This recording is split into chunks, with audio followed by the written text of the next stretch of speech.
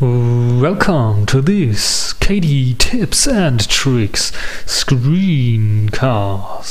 And in this screencast, I want to show you a small little trick how to tweak your default window decoration Oxygen very fast. So the first thing that you have to do is just go to the system settings, click on workspace appearance, then click on configure decorations if you have Oxygen chosen in here then click on fine tuning and then click on outline active window title. What this does is just outline only the text of your window and the rest will be in your um, primary selection color basically.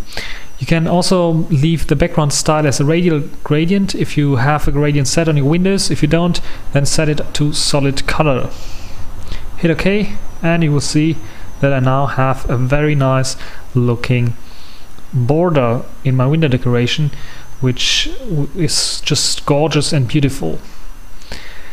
So this is everything for this little screencast. I hope you enjoyed this and thanks for watching.